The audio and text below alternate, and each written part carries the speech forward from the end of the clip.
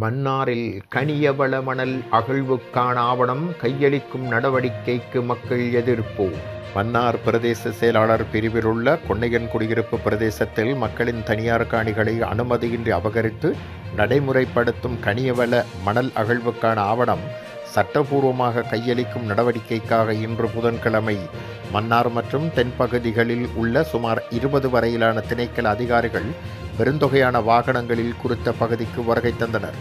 குறித்த விடயத்துக்காக அதிகாரிகள் வருகை தருவதை அறிந்த கிராம மக்கள் தங்கள் ஆலய மணிகளை ஒழிக்க வைத்து கிராம மக்களை ஒன்று திரட்டி வருகை தந்த அதிகாரிகள் சம்பவ இடத்துக்கு செல்ல முடியாது பாதைக்கு குறுக்கே மரங்களை போட்டு தடைகளை ஏற்படுத்தினர். அத்துடன் இச்சம்பவத்தை அறிந்த மன்னார் பிரஜை குழுவின் மன்னார் மாவட்ட பொது அமைப்புகளின் ஒன்றிய பிரதிநிதிகள் மற்றும் பொது அமைப்புகளின் பிரதிநிதிகள் என பலரும் சம்பவ இடத்துக்கு சென்று பகுதிக்கு அதிகாரிகள் திடீரென படையெடுத்து வந்த நோக்கத்தை கேட்டறிந்தனர் The people are not allowing us even This is very unfair to say the Sri Lankan people destroying the Sri Lanka, the same country people. We are also Sri Lanka. The Mana Island is a historical, thousand years historical of history and, and the resources. You know, you are a Sri Lankan, we, I am a Sri Lankan. 63% of the uh, land is here. below water. Yeah, then you know, according to the Coastal Conservation Department, you know, you, uh, uh, that's that is the that's a responsible department for the government authority.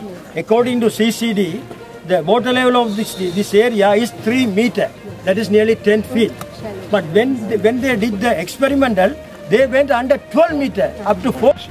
in this area. No, your So experience only in the with the the rain, heavy So rain, the water? It's for fresh water. Yes, sir. They are depending on that. Already Groundwater, the yes. water is uh, saline also. So uh,